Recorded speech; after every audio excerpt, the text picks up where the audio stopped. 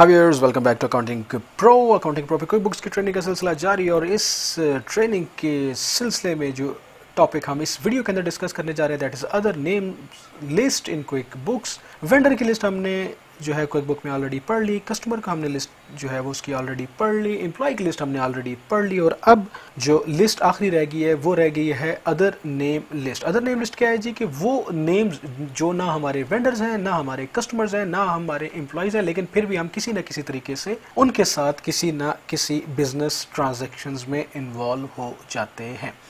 तो चलते हैं अपनी अदर नेम लिस्ट के अंदर और देखते हैं कि अदर नेम लिस्ट का मकसद क्या है और अदर नेम लिस्ट को हम कैसे मैनेज कर सकते हैं। क्विक बुक स्क्रीन आपके सामने है और क्विक बुक स्क्रीन में होम स्क्रीन के ऊपर आपको अदर नेम लिस्ट कहीं नज़र नहीं आएगा। अदर नेम का लिस्ट आपको नज़र आएगा लिस्ट मेन्यू में। लिस्ट मेन्यू में chart of account item list fixed asset item list price level list sales tax code class list और क्लास लिस्ट के बाद नीचे देखें आपको नज़र आ रहा है अदर नेम्स लिस्ट आपने वेंडर्स ऐड कर लिए, आपने कस्टमर्स ऐड कर लिए, आपने इंप्लॉइज ऐड कर लिए और अब आप ऐड करने जा रहे हैं other name list other name list क्या है जी? अदर नेम लिस्ट क्या है कि वो तमाम नेम्स वो तमाम नेम्स जो आपके ना तो कस्टमर्स हैं, ना तो आपके वेंडर्स हैं और ना ही वो आपके एम्प्लॉयज़ हैं। तो सोचिए ऐसे कौन लोग हो सकते हैं जो आपके ना तो वेंडर हैं, ना तो आपके कस्टमर्स हैं और ना ही आपके एम्प्लॉय हैं। जी हाँ वो हैं आपके बिज़नेस ओनर्स जो कि ना के वेंडर्स होते हैं, ना आपके कस्टमर्स होते हैं, ना आपके वेंडर्स होते हैं। तो बिज़नेस ओनर्स को आप ऐड करेंगे अदर नेम लिस्ट के अंदर। ये देखिए अदर नेम लिस्ट के आ गया है। या फिर आप ऐसे किसी इदारे के साथ आप ऐड करेंगे जो आपका ना कस्टमर है, ना आपका वेंडर है ना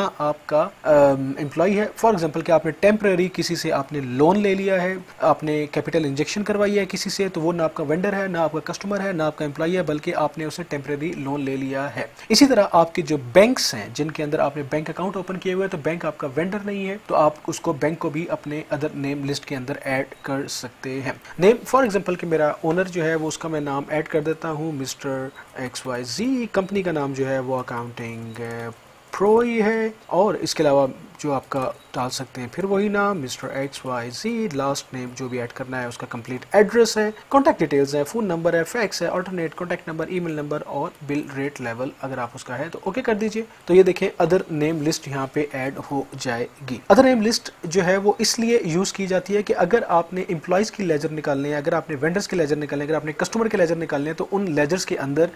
इनके लेजर्स सामने शो नहीं होने चाहिए, क्योंकि इनका ताल्लुक ना तो एम्प्लॉय के साथ है, ना इनका जो है वो ताल्लुक वेंडर के साथ है और ना ही इनका ताल्लुक कस्टमर्स के साथ है। तो जिस तरह भी आपके, अगर आप बिज़नेस के अंदर बैठे हैं और आपको लगता है कि कोई ऐसी एंटिटी आपने क्रिएट करनी है जो किसी भी कैटेगरी के अंदर फॉल नहीं कर रही तो आप फिर अदर नेम लिस्ट के अंदर उसको ऐड करेंगे। देखिए, मैंने यहाँ पे mister X Y Z other name list के अंदर ऐड कर दिया। मेरे पास ऑप्शन है कि मैं इसको एडिट भी कर सकता हूँ, मैं इसको डिलीट भी कर सकता हूँ, इसको मैं एक्टिव इनएक्टिव भी मार्क कर सकता हूँ और अगर इससे रिलेटेड मैं इसको यूज़ कर सकता हूँ। फाइन ट्रांजेक्शन है नोट्स लिखना चाहूँ, मैं नोट लिख सकता हूँ, अगर मैं यहाँ से इसको प्रिंट करना चाहूँ तो मैं इसको प्रिंट भी कर सकता हूँ। तो अदर नेम लिस्ट जो है वो बिल्कुल एक बेसिक सी चीज़ है क्विक बुक के अंदर और अदर नेम लिस्ट का जो जो है वो क्विक बुक के अंदर बहुत कम सा इस्तेमाल है लेकिन आपको पता होना चाहिए कि अदर नेम लिस्ट का जो है वो कॉन्सेप्ट क्या है। तो जनाब ये थी अदर नेम लिस्ट की शॉर्ट सी वीडियो अगर अभी तक आपने चैनल को सब्सक्राइब नहीं किया तो चैनल को सब्सक्राइब कर लीजिए वीडियो को लाइक कीजिए शेयर कर लीजिए अपनी कम्युनिटी के अंदर और आ, मिलते हैं फिर अपनी अगली वीडियो के अंदर। जा रहे हैं खुश रहे मुस्कुराते रहे अपना ख्याल रखिएगा। अल्लाह नेगे पान